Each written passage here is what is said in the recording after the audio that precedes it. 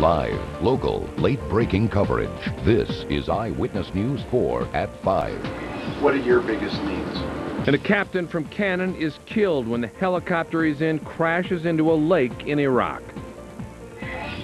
Prosecutors have had a hard time putting criminals away lately because the state crime lab is so backed up. Drug agents swooped in. Our Colleen Mahoney is live at Double Eagle with how the bust was a team effort. Colleen? Authorities arrested two men and after finding their plane that was parked here on the tarmac. But will that be the case for the rest of the week?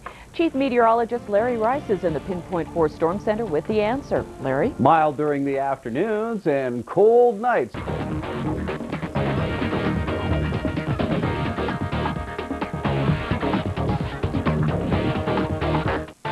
Live, local, late-breaking coverage with Carla Aragon, Tom Joles, and meteorologist Larry Rice.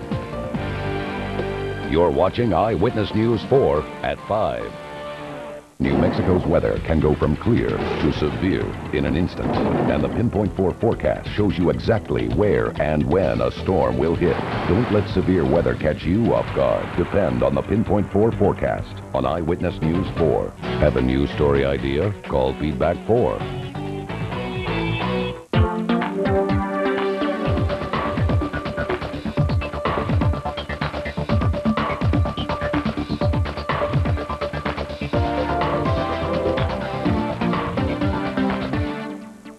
And then we'll see you again in a half hour at 6 for Eyewitness News 4.